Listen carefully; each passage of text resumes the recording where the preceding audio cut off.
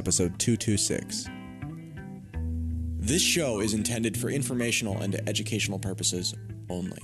What cryptocurrency enables is new, empowering, and exciting, but we're not experts, just obsessed companions walking the road towards a more peer to peer future.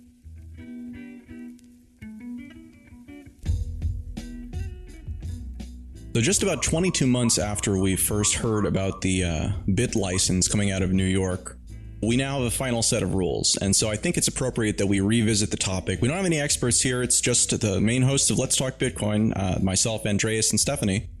You mean we're not experts? no, Well, we're not. I don't consider nobody's myself- experts in this stuff. especially the people who wrote it. This is going to be kind of one of those segments where I think that we are all opposed to it, but I think that it is to varying degrees and for varying reasons. Um, on its face, the bit license makes the assumption that if you have any user of your product that resides within the state of New York, that you should be compliant with all of New York's regulations, essentially for all of your users, which is just, again, on its face, an absolutely ridiculous assumption that totally doesn't work if that is the standard that is applied broadly. But it is the standard of the world that we happen to live in right now. And so it's worth talking about. Um, the bit license, I always thought, looking at it, looking at the way it was initially presented, was a whole bunch of ideas. Most of them were intended not to be in the final thing. They were put in as chips, and I'm not, of course, the only person who's noted this, uh, so that they could be then removed and only leave in the things that they actually really wanted in the first place. They just take out the kind of outrageous stuff.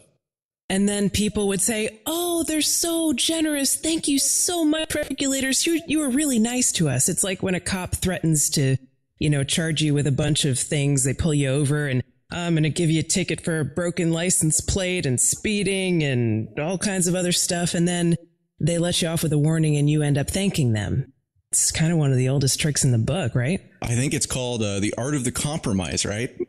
Where, wherever you phrase that kind of initial thing. So, in that, you know, when a cop pulls you over, if they've pulled you over, then they have the power at that point, really, you know, again, regardless of constitutionality or whatever, to do a lot of things to you that can, you know, they can cause problems. So that that's sort of the the core issue here is that the regulation causes response even when it doesn't, even when it's not being applied. Even if you're not charged with something, still having it out there is just sort of this blade hanging over your neck because, well, you know, it could be applied to you, even though it is. Anyways, I'm sorry, I've gotten off track here.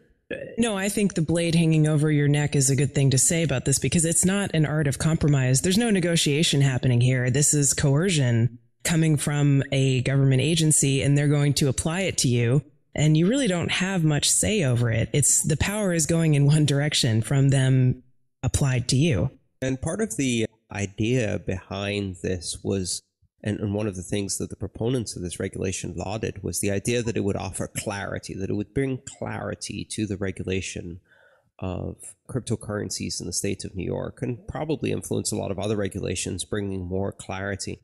So far, to me, it, it has brought clarity. It's abundantly clear that this regulation was designed to support the needs of banks and to further protect them from competition by creating an unlevel playing field where the most disruptive and competitive features of Bitcoin could be kind of polished away, where the uh, banks get a blanket exemption from any of these pesky rules, and where the cost imposed on innovation and on digital currency companies is going to be enormous to comply with these rules, while at the same time, the restrictions placed on their ability to innovate is going to be equally enormous. And so, in the guise of consumer protection, it clearly, and this brings clarity, it clearly helps banks avoid competition from these digital currencies.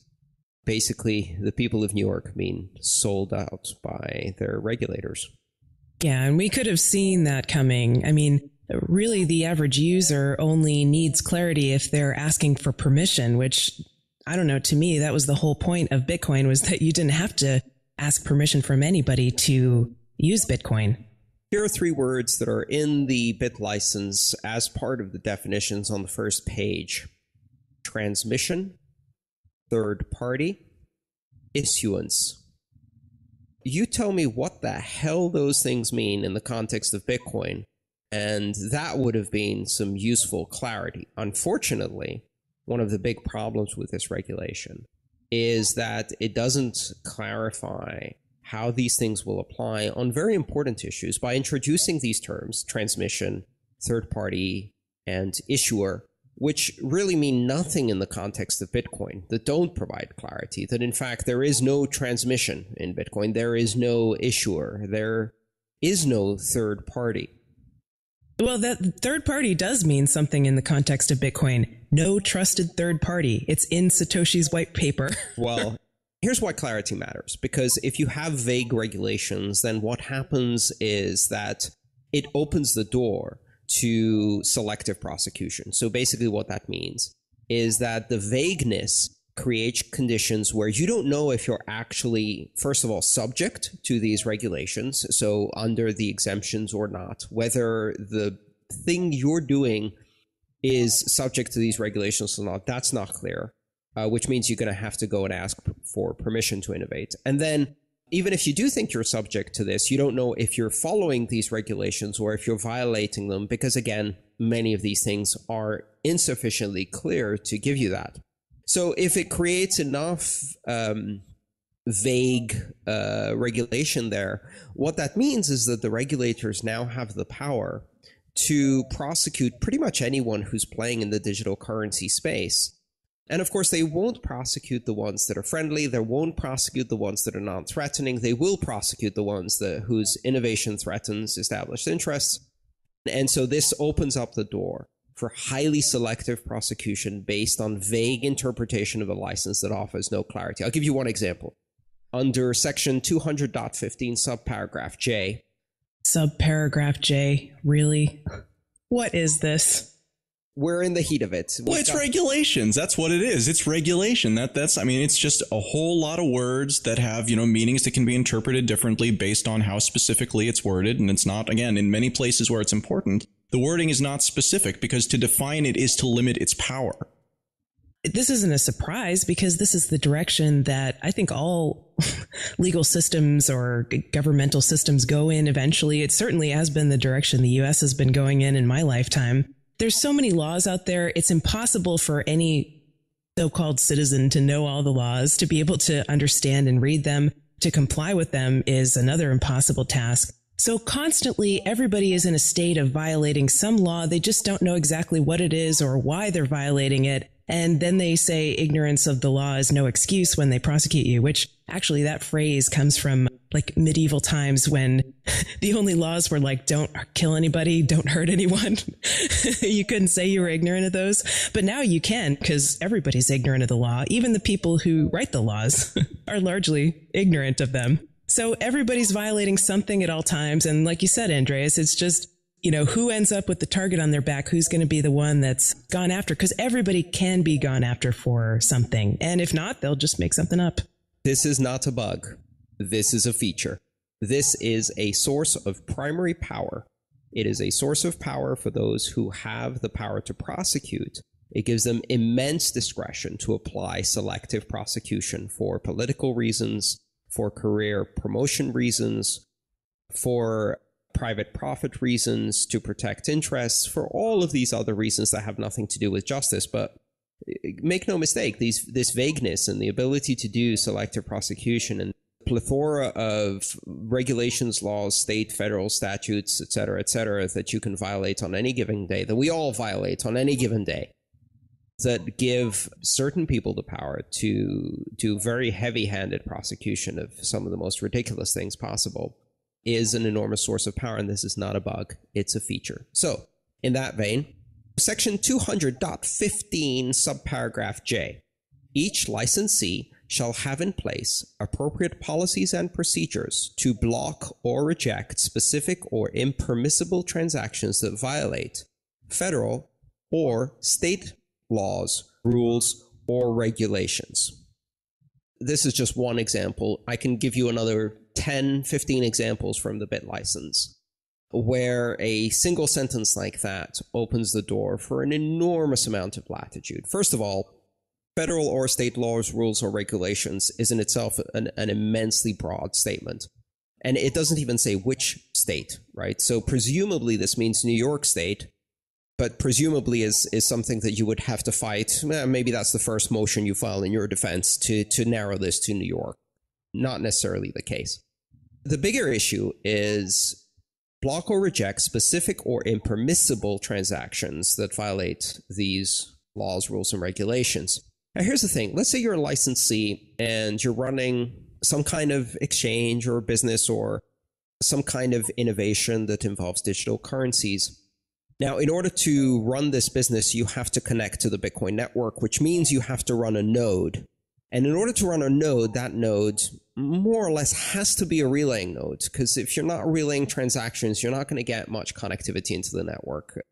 So your node will by necessity relay all blocks and transactions, which means that your node now, in order to connect to the peer to peer network, because it's peer to peer and relays all transactions, that means that you have to somehow implement policies, procedures, and practices to ensure that that node that is relaying everybody else's transactions, transactions you do not originate, are in compliance with these applicable regulations, including regulations about blocked destinations such as OFAC, san- sanctions countries, and sanctioned accounts and individuals, AML regulations as to limits above 10,000, et cetera, et cetera, all for addresses that you have no idea what the provenance or destination is.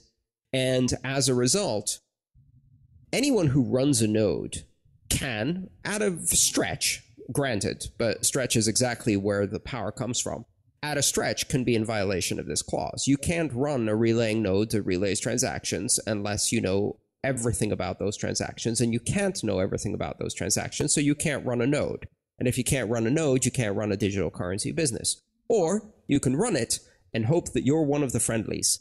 I hope that you are not one of the targeted ones because they can pull this out at any time and beat you over the head with it. And this is just one example out of probably 15 clauses of the BitLicense that use words such as transmission to third party, which in the case of Bitcoin involves every single transaction you do because every transaction is a transmission to a third party.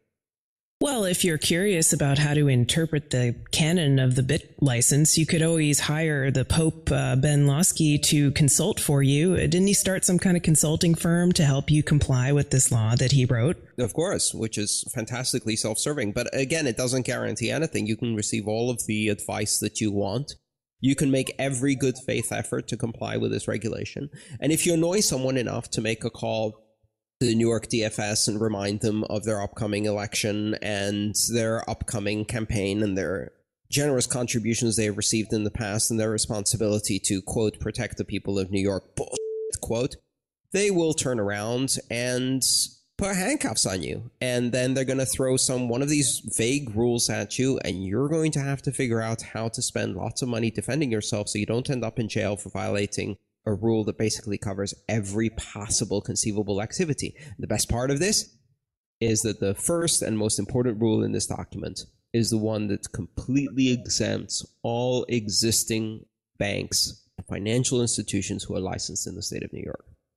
The only silver lining I could potentially see in this is that it just shows what a farce the whole system is that these regulations are not meant to protect anyone except the existing banks. They're not meant to, you know, keep any any of the little people safe. You know, I remember growing up accessing the internet and finding out about uh, torrenting, you know, d- music sharing, file sharing online. And yeah, everybody knew it was illegal and that, you know, these record companies could sue you or worse, you know, your home could get raided, or if your grandson downloads a, couple of songs on the internet, like it happened to one grandmother, they made an example out of her for some reason. Everybody knew it was illegal and that stuff could happen, but everybody did it anyway. And Bitcoin is just going to become like that. There's going to be a whole generation of people who learn the real rules that the, you know, what's written down on paper with these laws isn't necessarily the way that the world is going to operate and that people do illegal things all the time and they're not actually hurting anyone. They're not actually doing anything that's morally wrong. Sometimes laws are not in line with what's morally right and wrong. Well, just think about the suggested reason for this regulation and that suggested reason is consumer protection it's it's protecting consumers and also the ability to enforce existing laws to to protect against the funding of criminal activities. So the regulations are heavy with KYC, which is the know your customer regulations. Basically, what that means is that every single client of any one of the licensees covered by this license will have to be providing all kinds of identifying information, and the licensees will have to store all of this personally identifiable information that no bank can keep secure, as we've seen again and again. No corporation can keep secure. The federal government itself can't keep secure the information about background checks on 4 million of its own employees, for God's sake. And we've seen that happen again and again and again. What it does is it turns every licensee into a honeypot of personally identifiable information. And all of this information is essentially vulnerable and makes every single consumer that interacts with a licensee vulnerable to identity theft and all kinds of other violations of their privacy. But the one thing that's missing from this regulation, of course, is any recognition of multi signature technology or escrow based technologies, technologies that dilute custodial control over funds, technologies that allow for the first time in the history of payment systems to have non custodial minority control over funds that puts the power back in the hands of consumers. There are no exemptions if you hold only one of a three multi sig key where the consumer is f- firmly in control, which is in fact a primary means of consumer protection by returning control over both the funds and the private information to the consumer themselves so they're not subject to identity theft and they're not subject to embezzlement and hacking and theft of their funds.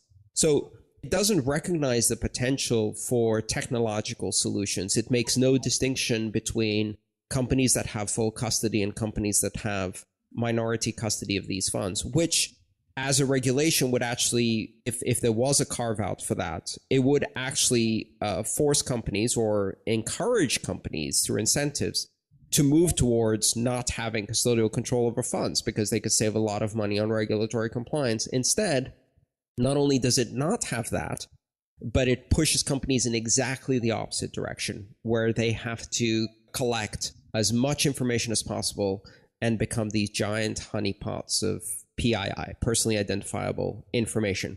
And the first company to say, no, we're not going to do that to our own customers, Shapeshift.io, a decentralized exchange, or rather an, an exchange that doesn't require registration of accounts. It's, it's somewhat decentralized and that allows you to exchange currencies for another simply decided that in order to protect its own customers, it couldn't subject them to these regulations just because some of them might be in New York and it cut off everyone in New York.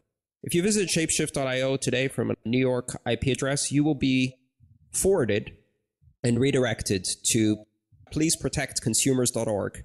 And that uh, website tells you why you are in a censored jurisdiction why that regulation mandates the extraction of your personal private information and why it jeopardizes your safety and why the company that redirected you there refuses to do it. I hope many other companies take the lead and uh, and do exactly that and uh, recognize that they can't do a disservice to all of their customers just because some of them are in New York.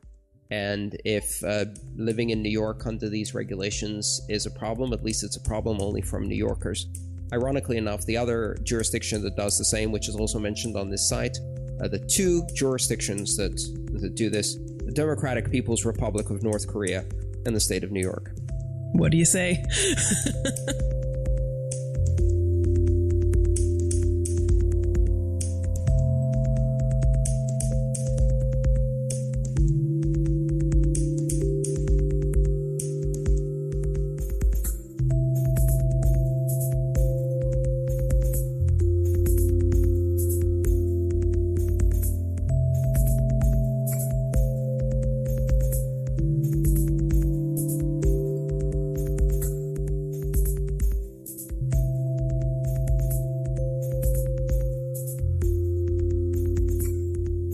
about how there are areas of this law specifically that are particularly onerous because they're really, really vague.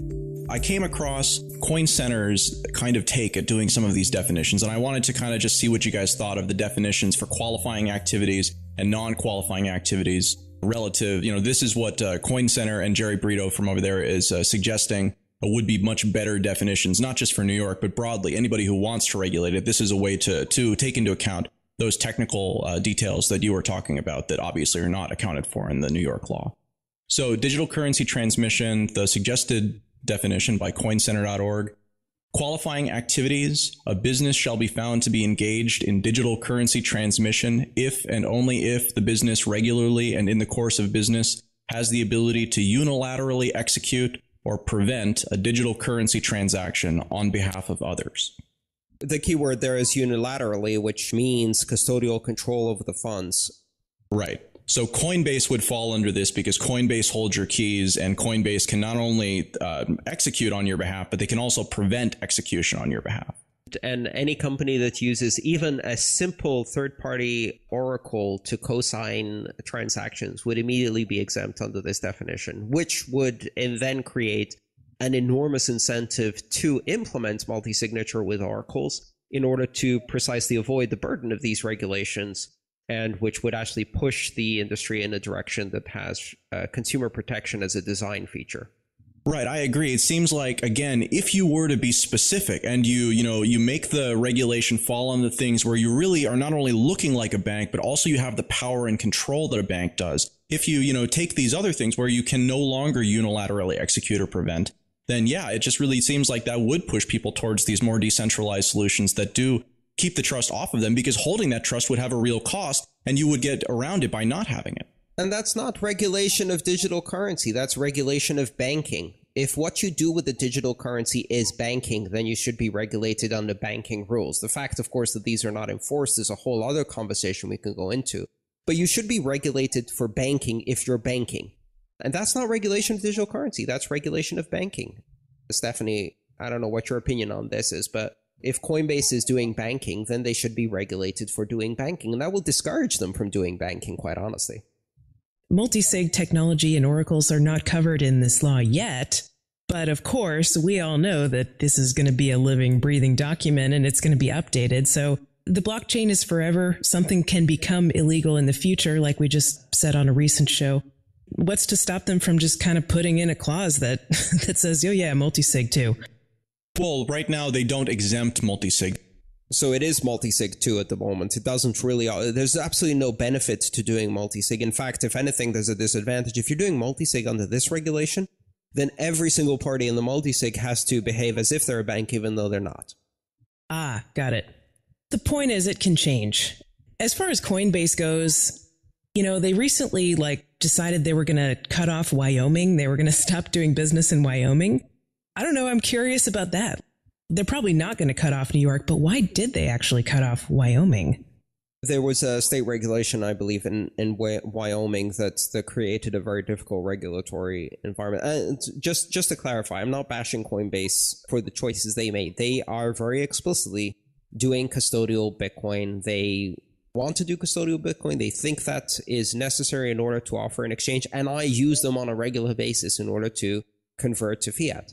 But we're using them as an example primarily because they are exactly the company that should be subject to these regulations. Right, because they're a Bitcoin bank. Because they're a Bitcoin bank, exactly. So they should be subject to banking regulations. If you have custodial control over people's money, that increases the risk that you will get robbed or that you will run away with the money. And any company that's doing custodial control over Bitcoin is a bank. Okay, and then the other definition that I just want to go over real quickly, uh, also from coincenter.org in this uh, same paper, which we'll link in the show notes non qualifying activities, as they've defined that as well. In no event shall any of the following activities, uh, in and of themselves, be interpreted as digital currency transmission. One, developing, distributing, or servicing software. Two, contributing software, connectivity, or computing power to a decentralized uh, digital currency providing data storage or security services for a digital currency business, or four, engaging in otherwise qualifying activities undertaken for non financial purposes or that do not include more than a nominal amount of digital currency. What is a nominal amount? Last one is the same exemption that is in the BIT license. So uh, within the BIT license, there's an exemption for any non-financial, any transactions that are predominantly non-financial that include the transmission let me quote the whole thing. Receiving virtual currency for transmission or transmitting virtual currency except where the transaction is undertaken for non-financial purposes and does not involve the transfer of more than a nominal amount of virtual currency. I think the, the word nominal obviously is, is way too vague, but most likely what that would mean is where the value of the transaction is not in the amount of currency that is being transmitted, but in the metadata that it carries, meaning colored coins, tokens, assets, document registration, etc., etc. All of those uses for which you spend a few satoshis in order to record something into the blockchain, and the primary purpose of the transaction is not the currency value itself. But of course, again, that's that's vague and, and that's problematic. Another interesting use case that's kind of come up in all of this is that the problem of currency has to do with it floating in value against the dollar. There are some interesting uh, ideas around phrasing tokens as uh, gift certificates and coupons, which have a different, very much reduced regulatory regime, and where most of the requirements there have to do with expiration dates and service fees and things that really don't come into play when you're talking about cryptographic tokens. For example, there are no exemptions in the bit license for LTB coin. So even though the stuff that I'm uh, doing, uh, yes, they are. There, there are.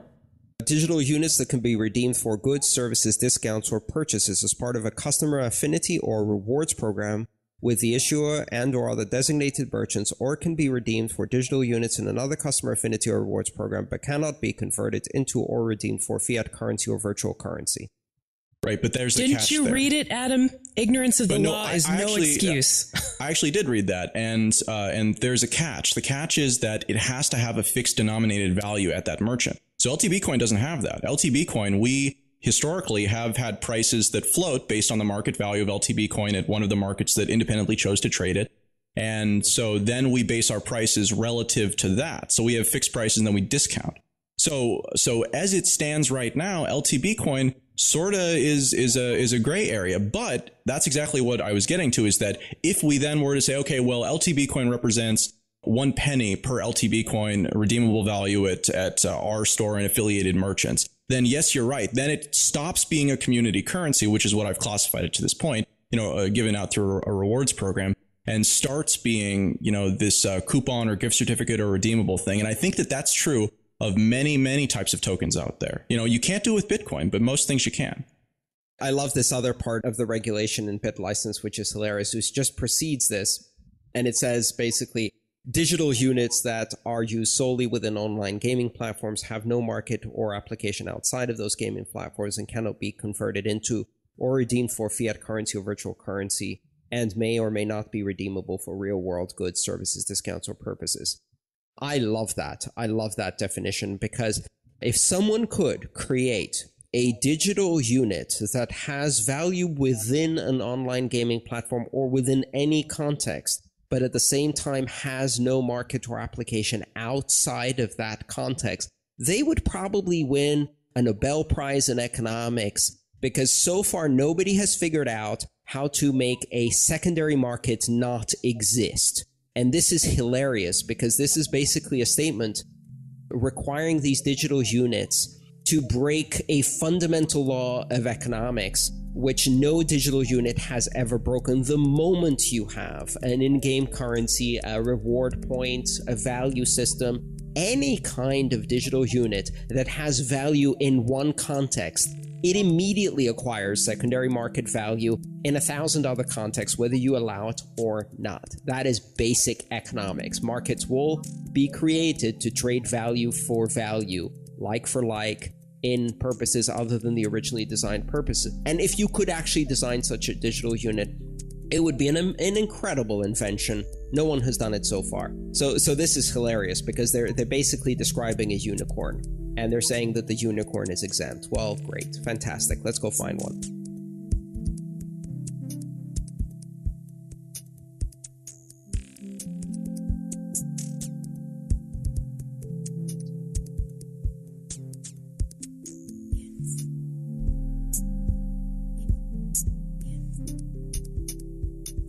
Today's magic word is rules. That's R U L E S. Rules. You've got until the 7th of July to visit letstalkbitcoin.com or the Let's Talk Bitcoin iOS app to enter it for your share of the listener rewards.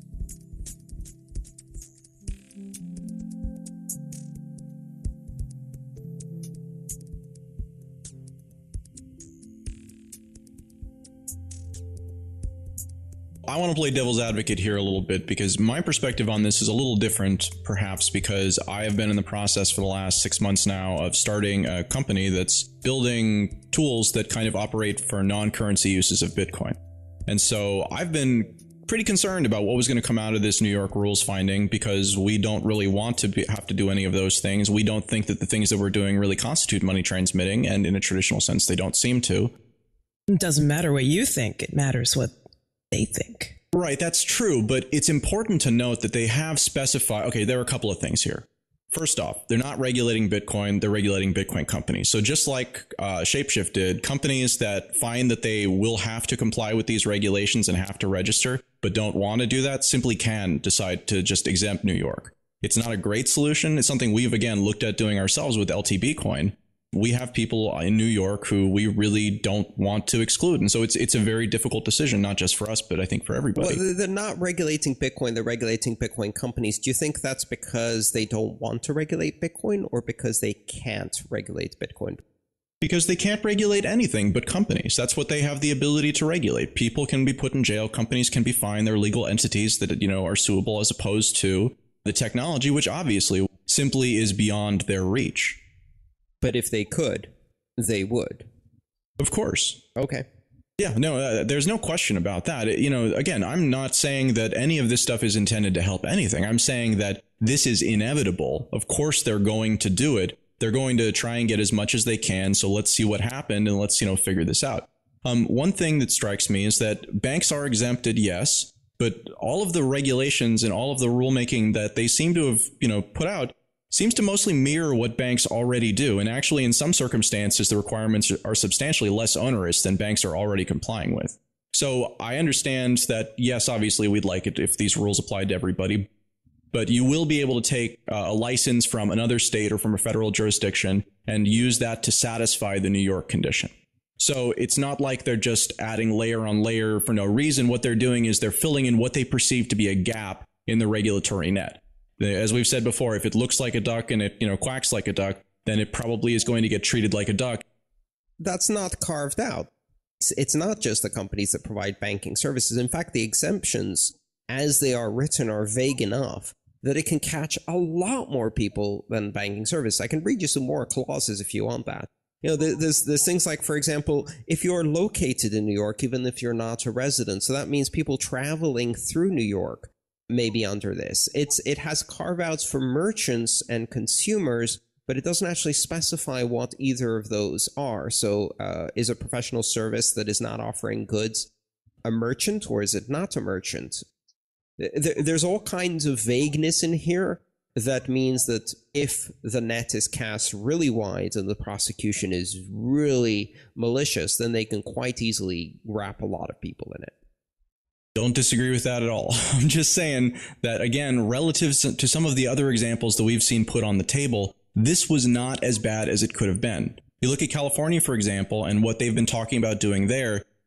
Paper is not something that is controlled in our world. You can go out and buy paper, there's no licensing requirement or whatever. If you are someone who writes doctor scripts and you have a doctor script, then that is controlled because using a doctor script, a signed doctor's a note, you can essentially get access to drugs, which are uh, regulated, and thus there needs to be this regulatory action.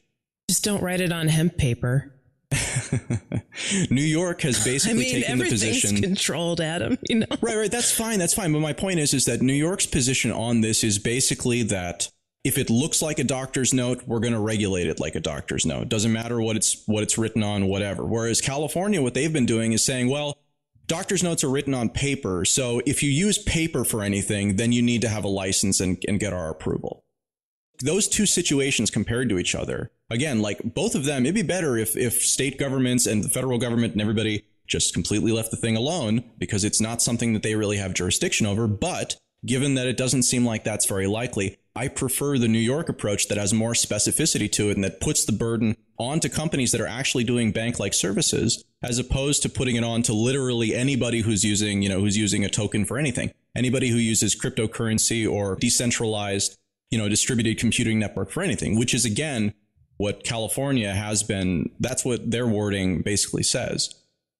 So basically, what you're saying is, if you allow me to paraphrase with an analogy just a tiny bit, It was an open hand slap and not a closed fist punch. And he said he was sorry. And after all, it's probably your fault because you burned his dinner anyway. Exactly. I, I was going to say something very similar, Andreas. Like both of these things are unacceptable. Like I, I hate getting into these conversations. It's the same thing with politics and voting. Oh, which horrible candidate is slightly better? Which is the lesser of two evils? No, they're both evil, and evil is not a necessity. Regulation written without any understanding of the thing that they're regulating, which is abundantly clear from this regulation. The primary problem I have with this is not the fact that it's written by banks for banks and for the benefit of banks. It's that it's written with a reckless disregard for how the thing actually works and a complete lack of understanding of any of the nuances of digital currencies and in a way that is is a clear throwback to things like the Locomotive Act and the Red Flag Act and so many other failed regulations written by the incumbents to stifle competition in an emerging disruptive industry that's going to eat their lunch. What is the Red Flag Act? I think that's actually worth saying on the show. So the Red Flag Act is a series of laws passed in England in 1896 that that regulated the use of automobiles on the streets and they were written essentially by the locomotive lobby, they treated cars like trains. And so they were, they had these absurd regulations that required uh, certain types of cars to be operated with an engineer and an operator. And one of the rules was that if the if a car had a certain length, it had to be preceded by a flagman who ran ahead, waving a red flag to warn pedestrians that this infernal machine was coming behind. It's a prime example. We've seen this again and again of the incumbents writing a regulation about how these things should work. And I, have had people ask me sometimes, you know, well, why do you hate regulation? Regulation is good. I mean, look at the FAA, they protect you and, and keep flying safe. And it's like, well, yes, but if you look at the history of aviation, the FAA wasn't created in the beginning and it wasn't created by the shipbuilding industry. Otherwise, every time you got on a on a plane, it would have to have lifeboats hanging off the side and stuff like that. And they, if it was regulated by the by the ship industry, they'd have to ensure that every plane had a ballroom and a warm buffet for its customers. This is basically regulation written by the incumbents to stifle innovation in a new industry and a new technology that they barely understand. They understand the least of it, and they really don't understand the most important aspects of it, which are the ones that deliver consumer protection as a tangible result of technology rather than as a secondary effect of heavily onerous regulation like KYC and AML. What actually happened with the Red Flag Act? Was it eventually nullified or did people just ignore it so much that it became irrelevant? I know the history of Skype, you know, what happened when they were sort of threatened to be regulated as a as though they were a phone company and they had to have long distance and things like that. And they just said no we're not a phone company and we are not going to be regulated like one. That's totally not what we are. And they were pretty much successful with that but they had the mindset of hey you know we don't want to be subject to these things. This is kind of ridiculous. Whereas within the bitcoin community there actually are a lot of people asking for begging, getting down on their knees to be regulated and to have clarity and to give me permission and to protect me from competition, those other upstarts.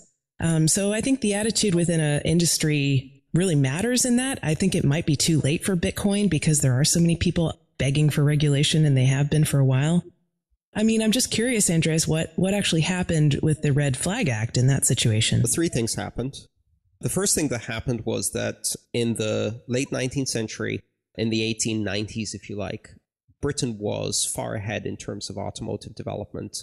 And by the beginning of the 20th century, the United States and Germany had taken over as the leaders in that industry.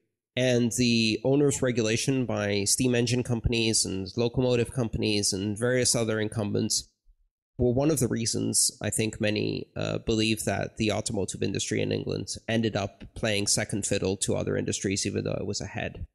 If you remember, at the time, this was you know the industrial power in this world, the first to really harness the steam engine and, and, and create an industrial revolution. And they lost the automotive race, and they lost it uh, through regulation written by incumbents. The second thing that happened is a lot of these things got repealed But the third thing that happened is a lot of these things simply got ignored. Just as a little reference, today in one of the municipalities in London, every carriage, which is defined uh, to include automobiles, has to have a hay bag and a poop bag hanging off the front and back of it, respectively. I have been in English taxis in that municipality, and I can assure you they have neither a hay bag nor a poop bag hanging off the back. So I'm assuming that they're ignoring these regulations. But on the statutes, you can be prosecuted for such reckless use of a horseless carriage. So I have a question. Given that obviously this is all as unacceptable as it could possibly be, and given that we live in the world that we do right now, that happens to be in the state that it is right now, what is the course of action? Well, I mean, to Stephanie's point, I think this is not like the Bitcoin industry has been asking for it and we have no way out. I think what, what you're seeing is some parts of the Bitcoin industry, clearly ones that are trying desperately to recreate the banking environment, that are effectively trying to use digital currencies to get banking licenses on the cheap for the very simple reason that a banking license is simultaneously a license to print money and a license to steal without getting punished. They're trying to replicate these environments. They're trying to cozy up to the regulators, and they think that if they become part of that clique, they can then essentially achieve immunity from prosecution for any and all financial crimes that they ever do. Who wouldn't want to be part of that party? It's very lucrative. It's one of the few remaining industries in the United States that's making any money right now because they're, quote, making money. Exactly. And so that's going to essentially just relegate them to the backwaters of innovation in the industry. They will not be able to adopt the new things because each time they try to change something, by the way, one of the other pernicious aspects of the bit license is that it requires you to receive permission if you make any material changes to your infrastructure. And so they're not going to be able to adopt innovations. And these innovations are coming at a frenetic pace from the rest of the Bitcoin industry. That's kind of like the post office, huh? Right. You have to get approval every time they ridiculous. change something. So, uh, so are they going to be able to implement, um, you know, the latest and greatest in multi-sig and micropayments and payment channels and uh, transaction confidentiality, the the stuff that's coming out of some of the sidechains teams, threshold signatures, Schnorr algorithm, all of the other really, really exciting innovation. I mean, there's so much amazing stuff happening in Bitcoin, and all of that is going to happen outside of New York now. Guaranteed. You cannot run the latest, greatest things, and, and not just outside of New York, but with complete exclusion of New York customers, because that will be the choice. The choice will be either to slow down the innovation, uh, ask permission for everything, and spend a lot of money trying to complying, or simply cut off New York customers from your systems. And so we're going to see, I think, a lot of companies following the lead of Shapeshift, cutting off New York customers and creating more innovative systems. And that's great because you know what? There's lots of people out there in the world who don't know anything about banking, have never been subjected to this bullshit, don't need it, and can go directly from being pre-banked to being debanked and unbanked and remain so and use digital currencies as a leapfrog technology, and they won't give a damn what Lawsky thinks and what strange regulation they're passing in New York. New York is going to be a backwater of digital currency innovation, and I think that's only fitting because it now represents the blockbuster side of the financial industry, the Tower Record side of the financial industry, the Kodak side of the financial industry. And they can tell us about the timeless quality of traditional banking institutions while we move on and innovate. Thanks for listening to this episode of Let's Talk Bitcoin. Content for today's show is provided by Stephanie, Andreas, and Adam. Music for this episode is provided by Jared Rubens and Murkowski. This episode was edited by Adam B. Levine. Thanks for listening.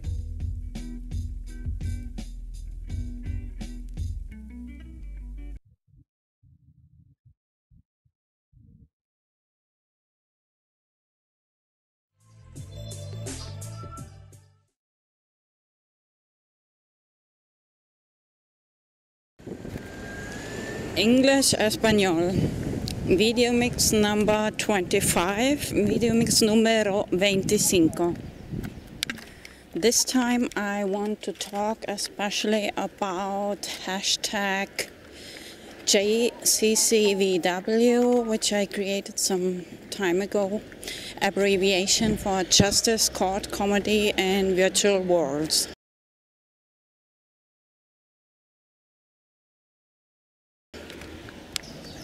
Esta vez quiero hablar especialmente sobre el tema hashtag JCCVW, que el hashtag que he creado hace algún tiempo que, eh, y es la abreviación por eh, justicia, Justice Court Comedy in Virtual Worlds, eh, justicia, comedia de justicia mundos virtuales. I made already several videos about this hashtag. Uh, ya he hecho varios videos sobre este hashtag. But this time, especially thinking of my last video, number 24, uh, robot ethics.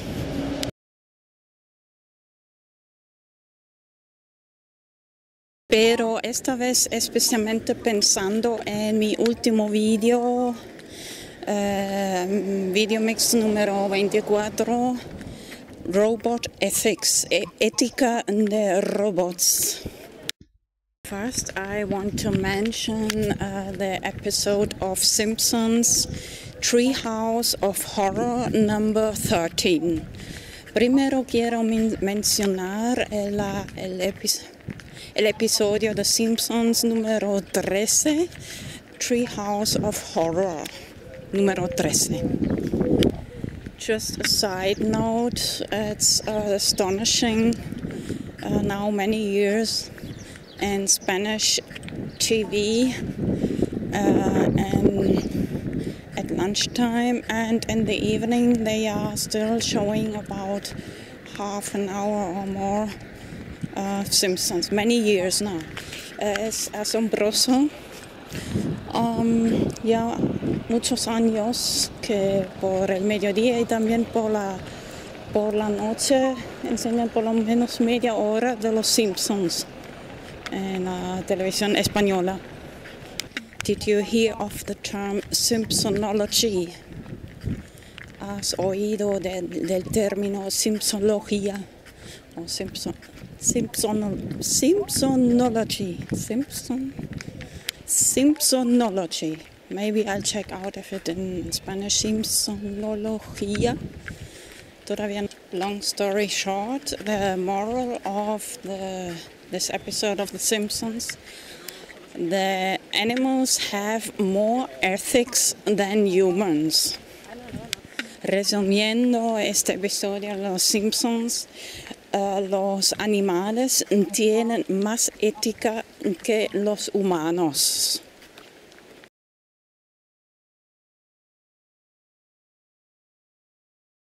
Remember my last video number video mix number 24 robot ethics cat ethics recuerda mi uh, último video mix número 24 robot ethics, ética de robots, and cat ethics, ética de gatos. And with a funny GIF. GIF is abbreviation for Graphic Interchange Format. Y con un gracioso GIF. GIF maybe it's a little helpful, helpful to compare robot ethics and cat ethics. Tal vez eh, ayuda a comparar un poco el ética de robots y ética de gatos. Once I said to my mom, uh, talking with this person is like uh, teaching teaching ethics to cats. Una vez he dicho a mi madre, mira, hablando con esa persona es como eh, enseñar ética a, gatos. They just do what they want. Solo sim simplemente hacen lo que quieren. And the robots do what they are programmed to do. y los robots hacen simplemente lo que están programados de hacer. The question is the responsibility. La cuestión es la responsabilidad. So in the end, you see, it's almost not controllable. Así que verás que al final no es controlable. But normal cats can never turn as evil as humans. Pero gatos normales nunca pueden volverse tan eh, malos, hacer cosas tan malas como los humanos. Perversion, perversión, opposite land, el país de justo todo al revés. Copyright, copy prohibition. El copyright es más bien no un derecho de copiar, sino una prohibición de copia, copiar. Law of intellectual property, la ley de la propiedad intelectual especially because I like to produce video mix. I got very angry about the legal system and the perverse law of intellectual property, which inhibits innovation and freedom of expression. Especialmente porque me gusta producir video mix. Uh, me, enfadé con el sistema legal, en especialmente el, especialmente la ley de la propiedad intelectual que inhibe la innovación y la libertad de expresión. And if you continue to think about the legal system, uh, get more and more doubts. Y si continúas de pensar sobre el sistema legal, vas a tener más y más dudas. But still, you have, I think it's important to have a place to talk about ethics. Pero igualmente pienso que es importante de tener un lugar donde se hable sobre ética. That's the main motivation why I created hashtag JCCVW, Justice Court Comedy in Virtual Worlds. Es la motivación principal por la que he creado el hashtag JCCVW, Justice Court Comedy in Virtual Worlds, justicia, comedia de justicia en mundos virtuales. Even on my main Twitter account, Vanos Enigma, the cover picture, uh, I've got written Justice. Who has the right to judge? Who is without sin? Cast the first stone.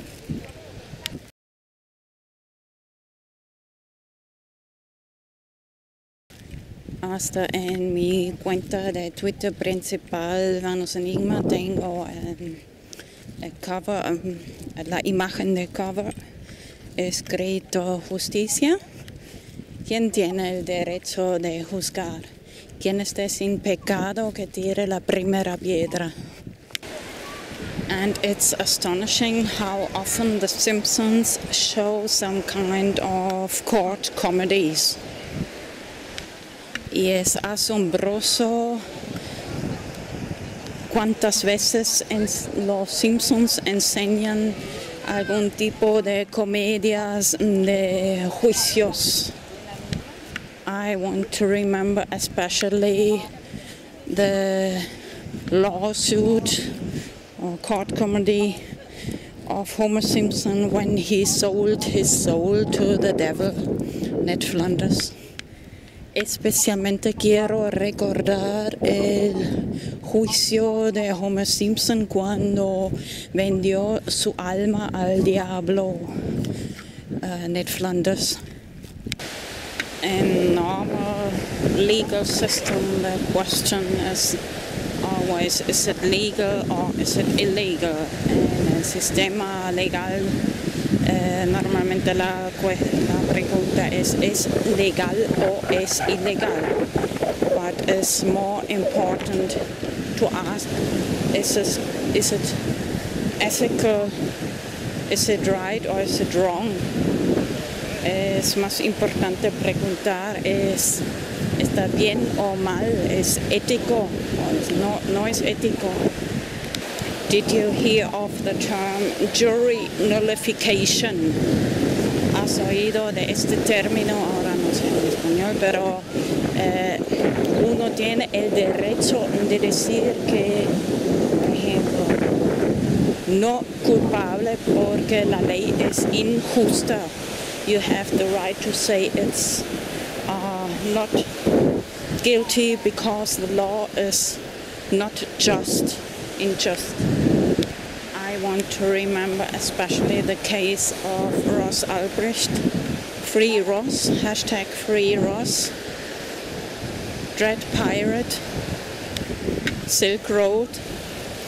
Especialmente quiero recordar el juicio de Ross Ulbricht, um, Silk Road, Bitcoin, and my profile picture of Innocent Crypto Kitty y mi imagen de perfil Innocent Crypto Kitty que quiere decir eh, eh, gatito inocente de criptografía.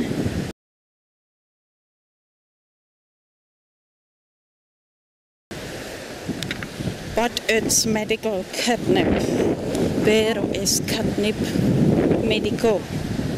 30 years of jail for running a website which other people used for buying and selling catnip.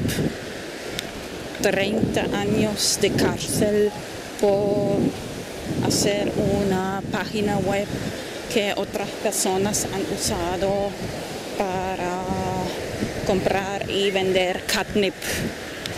and I to remember what uh, said Roger Ver, uh, Bitcoin Jesus. He said something like uh, the war against drugs cause more harm than the drugs themselves. Y quiero recordar lo que dijo Roger Ver, que es como el Bitcoin, el Jesús de Bitcoin dijo algo como que la guerra contra las drogas causan más daño que las drogas mismas. Okay, let's go back to even if you would have, want to have a person like ah, and not just Roger Ware, uh, the case of Charlie Schrim, another Bitcoiner a very interesting case too. And one interview, um, I made a video, um, very interesting comment of Andreas Antonopoulos in one episode of Let's Talk Bitcoin. I think it's the video mix number Yes, I had just a look. at video mix number 17. El justo he mirado es el video mix número 17 uh, con Charlie Shrem. Uh, this comment I like too much, so I will paste it. Paste it here. Este comentario me gusta demasiado, así que uh, algunos minutos uh, voy a pegar este momento.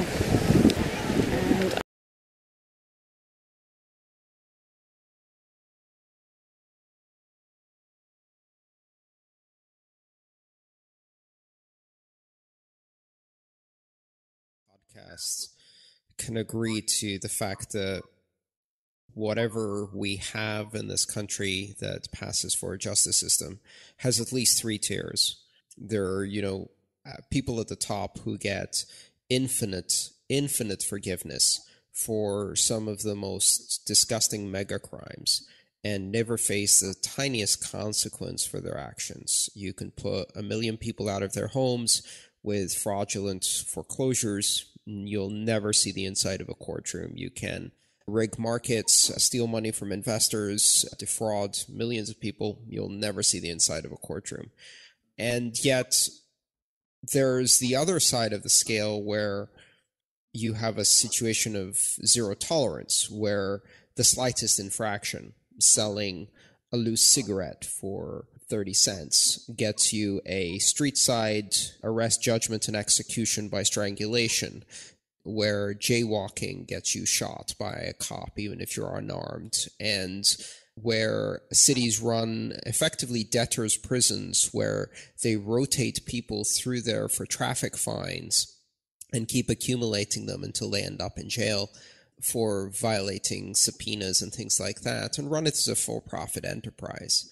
And then in the middle is the middle class caught in this justice system, this thin layer that's getting thinner all the time because they're getting squeezed from the bottom. And the middle class sees the top of this country getting away with uh, mega crimes and sees a wave of zero tolerance coming at them that used to only affect minorities, but now is increasingly taking bites out of the middle class.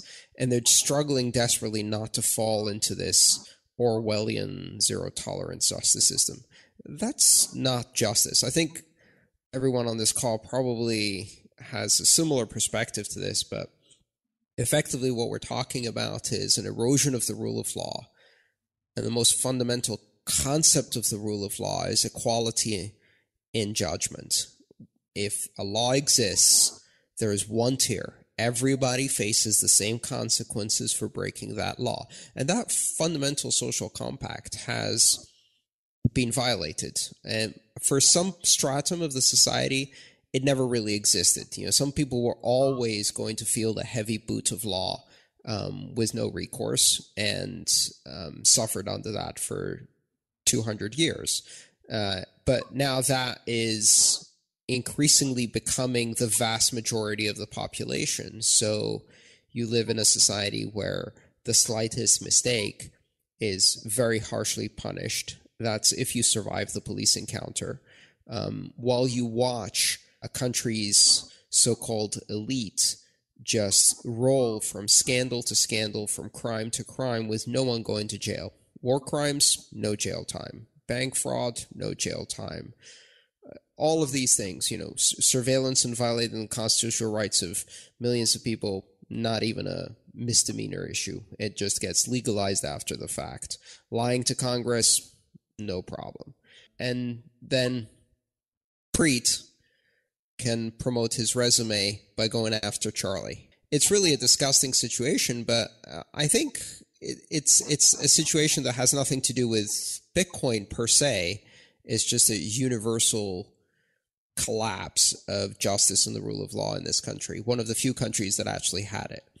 As that was so well said, I have no response to it. I, I completely agree with Andreas. Everything he just said. It's it's it's not limited to to Bitcoin. It's a, it's an overall. You see it you see it with everything. I mean, look at the case of Aaron Swartz. May he rest in peace. But once they have their sights on you, telling it's you per se, I think it's what you represent or who you are. Um, there's no getting out of those sites. And the higher up you are, the harder it is for them to prosecute you. It just doesn't make sense for them. Our justice system has been corrupted or skewed to, to, to what it is today and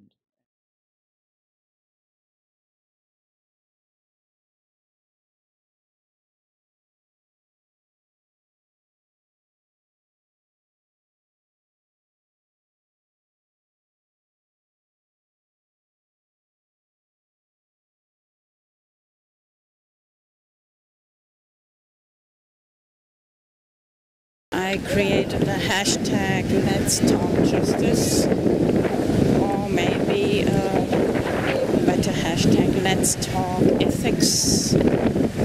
Y también he creado ese hashtag uh, Vamos a hablar sobre justicia, Let's Talk uh, Justice. Pero tal vez mejor uh, Let's Talk Ethics. Vamos a hablar sobre ética.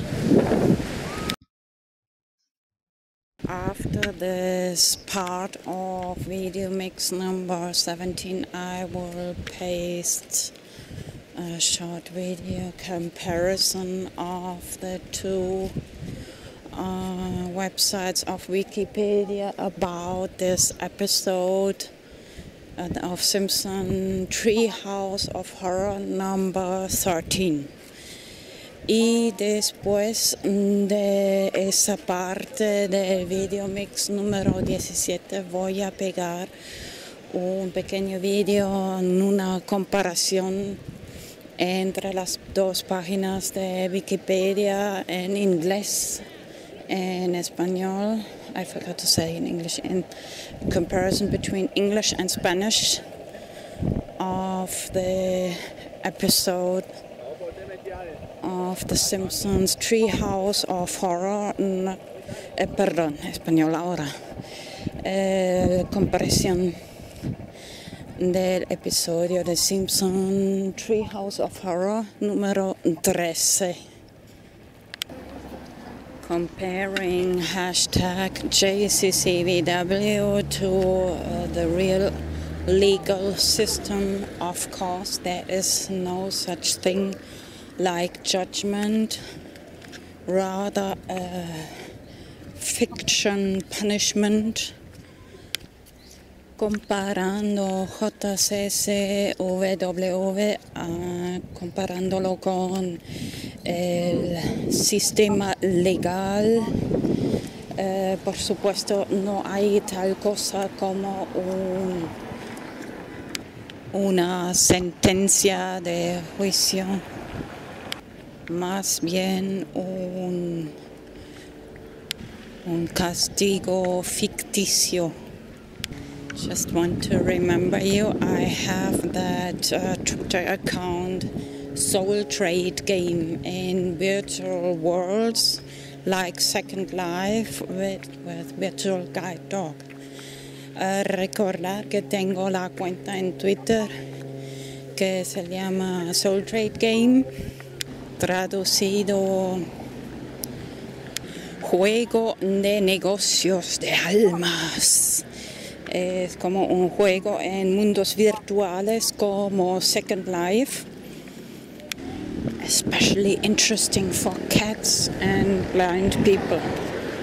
Especialmente interesante para gatos y personas que estén ciegos o tengan problemas con los ojos o people blind or people who have problems with the eyes.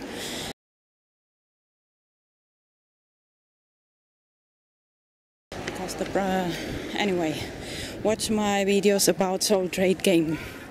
De toda forma, mirad mis videos sobre Soul Trade Game, juego de negocio de almas. And I have that Twitter account, Soul, uh, sorry, Soul Confiscator Catch. Y tengo este, esta cuenta de Twitter, Soul Confiscator Cat. You are welcome on all of my Twitter accounts. Normally I follow back.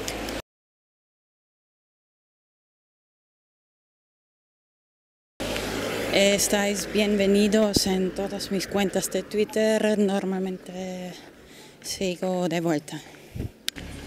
So you see I have a double or triple interest to open hashtag JCCVW. Uh, uh, Así que veis que tengo un doble o triple interés de abrir el hashtag JCCVW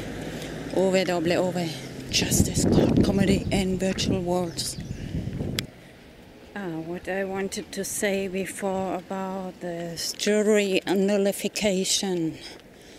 Uh, if you really would like to to um, participate in a trial lawsuit uh, to help uh, somebody from getting declared guilty fast. You have to take vacation. You have to buy a flight to New York. And I think this trial was in January of um, Free Ross, Ross Ulbricht, um, Silk Road. So, bueno, lo que iba a decir antes uh, con respecto al derecho de uh, renalification en español no me acuerdo, no estoy segura, pero que tienes el derecho de decir que mira, yo estoy uh, no estoy de acuerdo que esta persona sea declarada culpable. Así que primero tendrías que tomar vacaciones, comprar un vuelo a Nueva York. Y eh, era ese juicio, me parece, era en, en, enero, cuando hizo un montón de frío. So comparing this legal system with uh, hashtag JCCVW, this is in, in, in virtual worlds. Everybody can participate and talk about ethics, right or wrong. Don't need to buy a flight to New York. Uh, comparando ahí con el sistema legal. No, eso tiene que tiene lugar en mundos virtuales, no hay que comprar un vuelo a Nueva York y tanto, tanto esfuerzo para participar en un juicio, discutir sobre ética. Puedes fácilmente participar de cualquier lugar, ordenador, P2P, and especially talking about robot ethics. This will be very important in the future. Y especialmente el tema de ética de robots en el futuro será muy importante. Because it's easy to say the person who programmed the robot is responsible for the actions, but uh, it's very easy to uh, to hide the identity who programmed the robot. Es muy fácil decir que la persona que ha programado el robot es responsable por las acciones del robot, pero es muy fácil de ocultar la identidad de la persona que ha programado el robot. So now I'll paste these, these two videos. Así que ahora voy a pegar estos dos videos.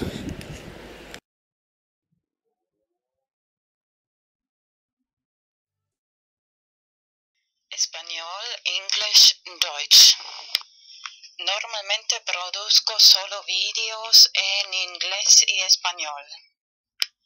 Normally I produce only videos in English and Spanish.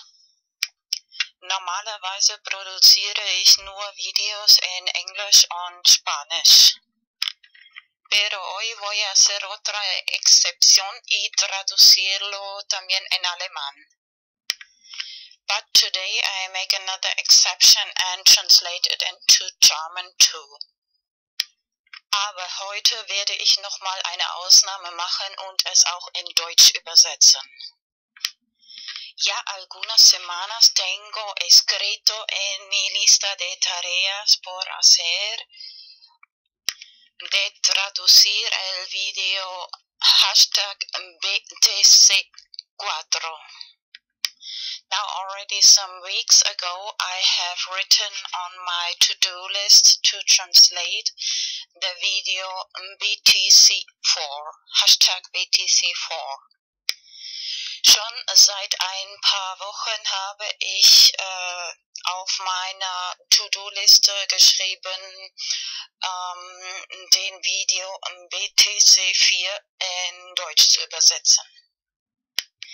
Estoy segura que esta idea puede ayudar a mucha gente económicamente. I'm sure that this can help many people economically. Ich bin sicher, dass diese Idee vielen Leuten uh, finanziell helfen kann. Y da motivación para aprender Bitcoin. And give motivation to learn about Bitcoin. Und Motivation geben, um über Bitcoin zu lernen. En este momento el precio de Bitcoin es muy bajo, económico. At the moment the price of Bitcoin is very low, economic. Im Moment ist der Preis von Bitcoin sehr tief. Sería el momento ideal para invertir. Hoy es el 15 de abril 2015. Would be the ideal moment to invest. Today is April 15th, 2015. Es wäre der ideale Moment zu investieren. Heute ist der 15. April äh, 2015.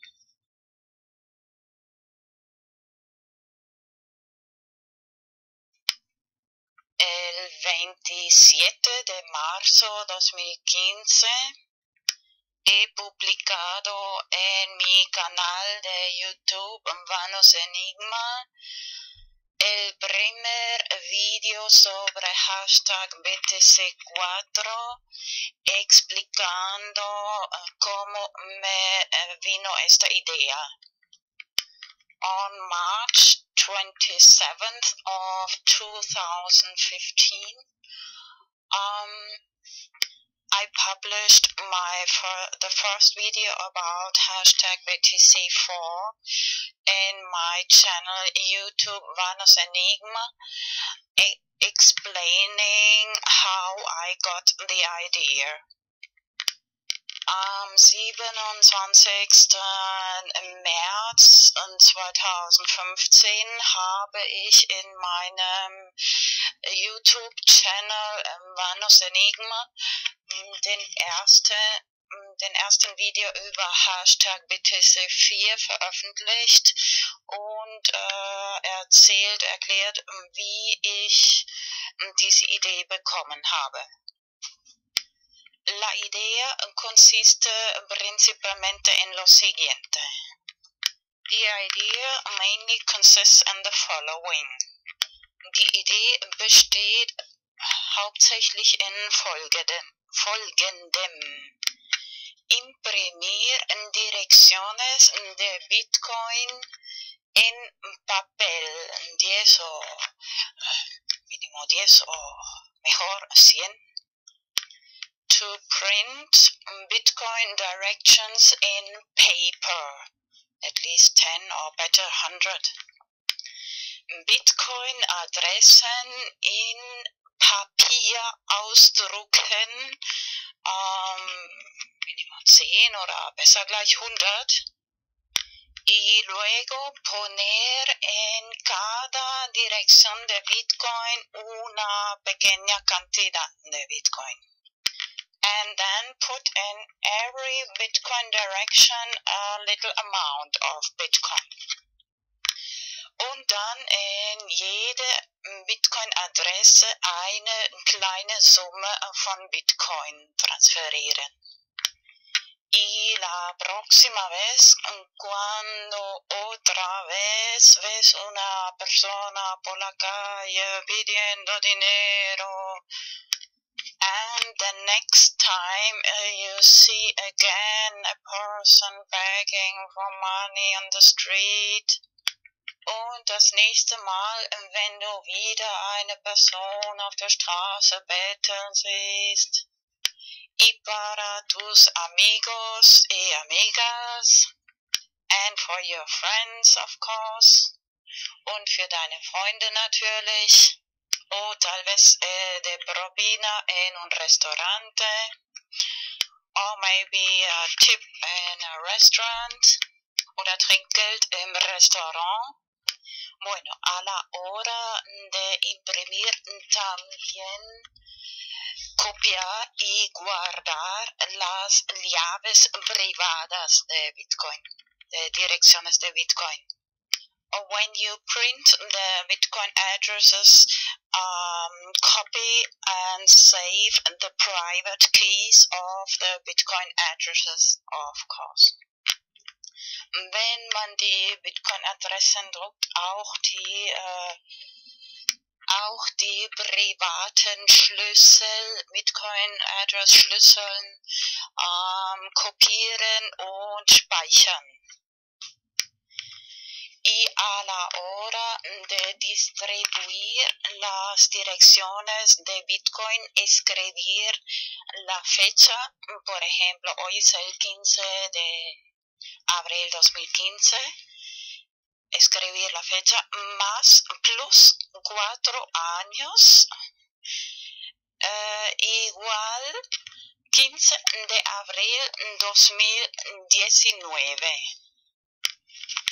And then in the moment when you distribute uh, the Bitcoin addresses, you write the date, for example, today, April 15th, 2015, plus, plus four years uh, is April 15th, 2019.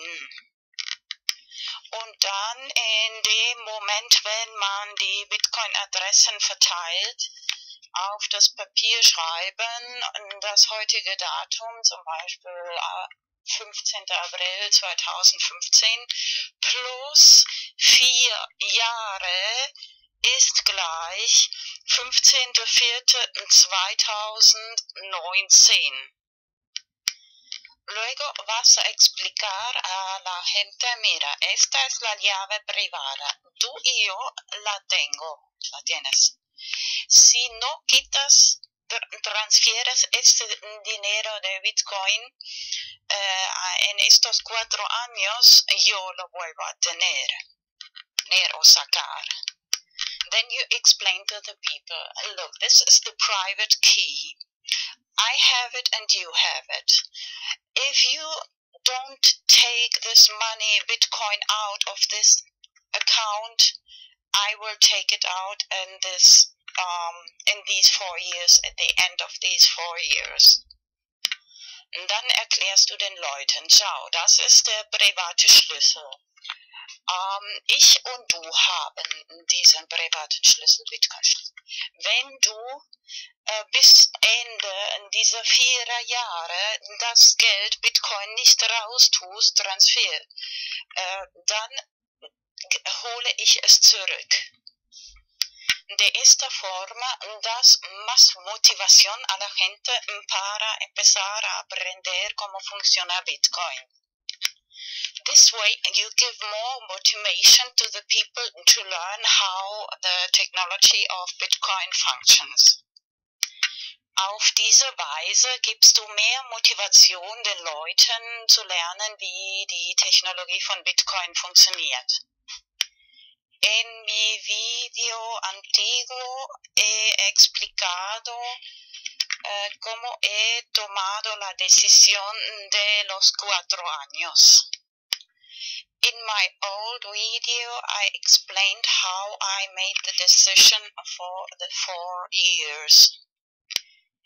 In meinem Originalvideo habe ich erklärt, wie ich zu die Entscheidung getroffen habe äh, mit den vier Jahren.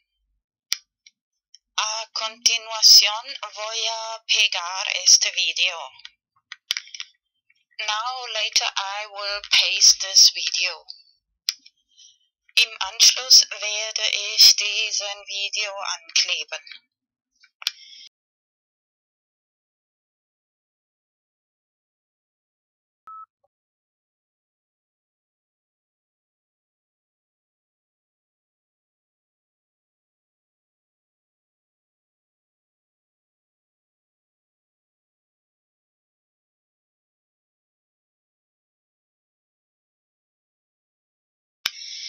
Este momento el precio de Bitcoin es muy económico. Uh, at the moment the price of Bitcoin is very cheap.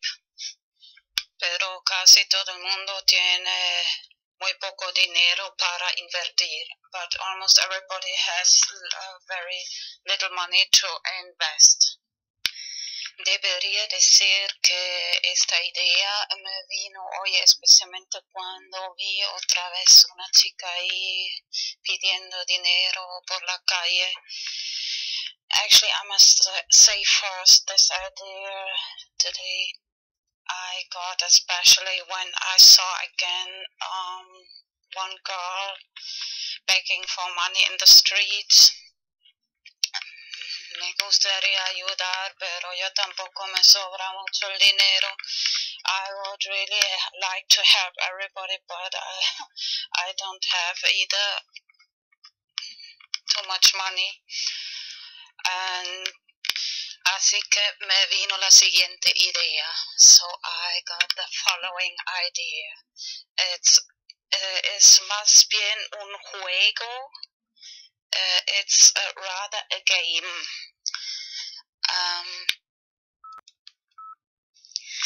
lo que es muy importante elegir un monedero de Bitcoin que solo tú mismo, mismo tienes la llave privada. What is very important uh, to choose um, Bitcoin wallet a company which you only possess the private key. For example, uh, blockchain.info. Por ejemplo, la empresa blockchain.info. Luego imprimir en papel um, la llave privada y también guardarlo tú mismo. Then to print in paper the private key and uh, of course save for, for yourself that private key. Bueno, ya estamos imprimiendo, imprime por lo menos 10. So now we are already printing, so at least print 10 directions, 10 direcciones. Luego pones algo de Bitcoin, una, cantidad, lo que, lo que te da la gana en esta dirección.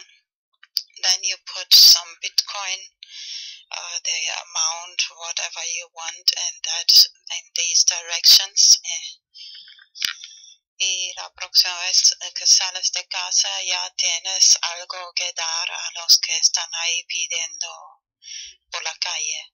And the next time you go out of the house, you have already something to give for these people who are begging on the streets. Y por ejemplo, y claro, para uh, tus amigos, amigas, and for your friends, of course. Eso da motivación a la gente para aprender Bitcoin y this gives motivation for the people to learn about Bitcoin. Y la parte del juego consiste en lo siguiente, and the game part uh, consists in the following explicas a la gente, mira, esta es la clave privada, que es la clave secreta. You explain to the people, look, this is the private key, which must be secret. And uh, you have it, and uh, me, and uh, explicas, esa persona y yo mismo la tiene y antes pensaba en cinco años, pero luego cambié un poco de idea de hasta cuatro años. First, I thought of five years, but then I changed uh, my opinion to four years. Later, explain.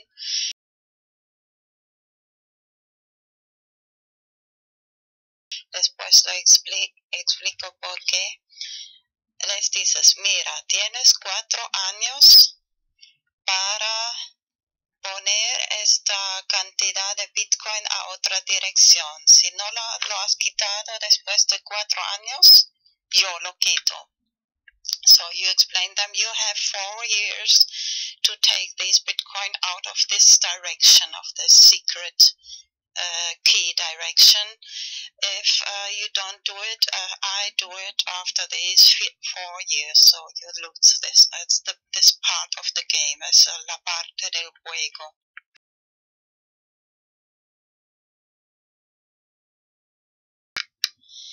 He creado este hashtag BTC4 para hacerlo un poco popular. I created this hashtag BTC4 to make it a little popular. Antes pensaba en cinco años, pero luego cambié a cuatro porque te has dado cuenta que en Los Simpson eh, la gente tiene cuatro dedos y solo do, Dios tiene cinco dedos. Um, first, I thought of five years, but then I changed my mind to four years. Um, did you notice that in The Simpsons, people have four fingers and only God has five fingers. Uh, I'll show some pictures. Voy a enseñar algunas imágenes de los Simpsons. De los manos y dedos de Simpsons. Some pictures of the hands and fingers of Simpsons. Uh, pero antes quiero recordar que um, es muy probable que también cuatro o cinco en los próximos años el valor de Bitcoin puede subir mucho. Just want to remember before that uh, the price of Bitcoin, the value of Bitcoin can rise very much in these next years. Así que si solo pones una cantidad pequeña más tarde puede ser de gran ayuda. Even if you just put a little small amount, later it can be big help. Uh, no solo para, bueno, es un juego. Si la persona lo quita antes de cuatro años, para, es para esta persona, si no, es para ti, si te recuerdas y guardas bien la llave privada. So it's this is the game part. If uh, the the person takes the money out, it's for that person. But if they forget it after these four years, you can take it out, and it can be really. Bueno, imprimir también la llave pública y la llave privada. Y si, por ejemplo, okay, first translate. Print not just the private key, but on also the public key. Así que si, por ejemplo, explicas a la gente, mira, si alguna persona quiere enviarte Bitcoin, pero tú no tienes ninguna dirección, así que puedes dar este esta llave pública a la persona, mira muy bien, la llave pública, no la llave secreta, das a esa persona o cualquier persona y te pueden enviar Bitcoin a esa dirección. So remember uh, the public key you can give to anybody and if somebody wants to send you some bitcoin and you and this person doesn't have, have any so you have already this public address where they can send you bitcoin